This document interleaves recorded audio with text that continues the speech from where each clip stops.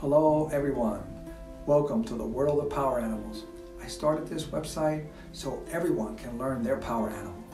The ancient idea of spirit animals has resurfaced and has the potential to help create a higher vision for a better world. Today, we'll look at the lark. Larks are one of the 90 species of songbirds. They are known for their cheery whistle, which is a high, melodious, and sustained song. They're one of the few birds that sings almost all the time. Larks have many types of bills, from small and narrow to long and curving. Their plumage is planed or streaked in colors closely matching the soil. Larks eat insect, grains, and seeds and make their nests from the grass on the ground. Larks are positive, free spirited, and like singing songs of hope. Their songs have an incredible quality that reflect their path of self discovery.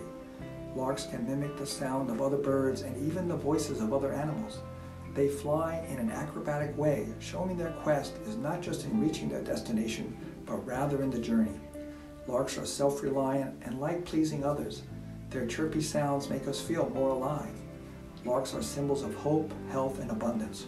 Call on their spirit when you want to have more confidence. Visit our website to learn how the different spirit animals can inspire us. Each animal personifies a unique message. Thank you for subscribing and have a great day.